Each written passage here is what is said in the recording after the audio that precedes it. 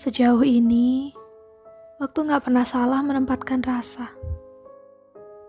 Kitanya aja yang gak sadar. Perlahan semuanya menua. Perlahan semuanya memudar. Temu terlalu singkat, pergi terlalu hebat. Aku belum sempat rindu. Tapi kamu harus menghapus alasan kenapa aku harus merindu. Dulu kamu jahat, dan itu benar-benar jahat. Aku hilang kendali perihal mencintai. Kali ini aku datang untuk bilang,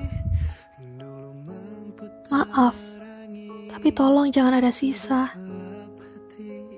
Aku mau bahagia dulu, sebentar. Boleh kan?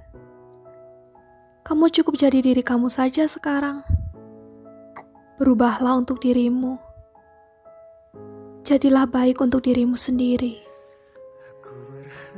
Jangan karena aku. Aku sudah biasa dengan rasa sakit. Karena aku ini cenderung memikirkan apa-apa yang tidak seharusnya aku pikirkan tentang bahagiamu contohnya. Itu bukan kewajibanku lagi. Apa-apa yang baik dariku tolong dikenang ya. Soalnya aku belum pernah sebaik ini sama seseorang. Dulu aku egois. Terlalu memikirkan diriku sendiri untuk bahagia. Tapi semenjak ada kamu, aku baru sadar kalau bahagia sendirian itu gak cukup. Dan setelah kamu pergi, kayaknya aku lebih baik egois saja gak apa-apa kali ya. Kan orang-orang juga gak peduli aku sedang bahagia atau tidak. Orang-orang melihatku dari senyumku saja. Padahal mereka gak tahu. Senyum juga kan bisa bohong. Tapi baiknya memang harus begitu. Orang-orang gak perlu tahu aku sedang sedih.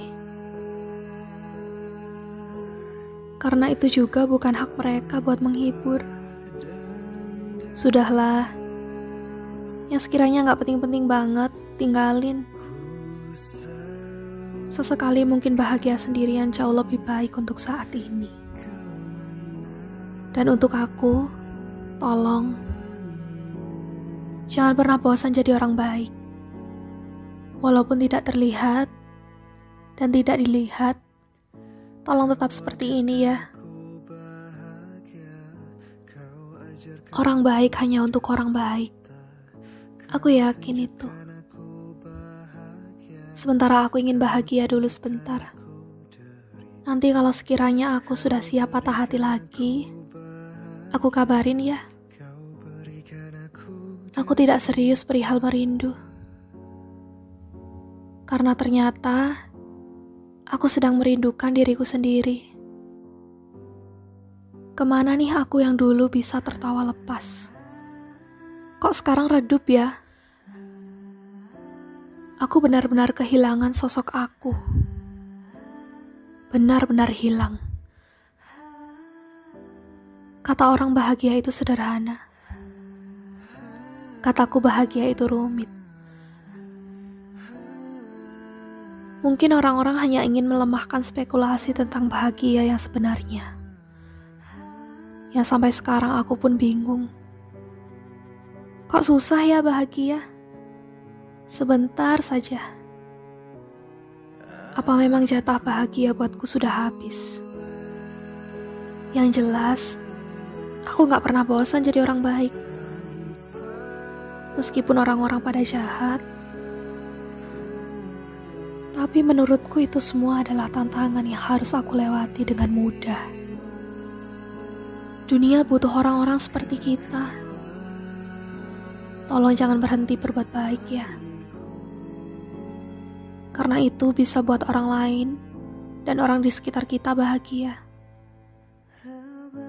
Sekarang aku akan diam, menangis sebentar lalu bertanya kepada diri sendiri, "Jadi, kapan mau mulai bahagia?"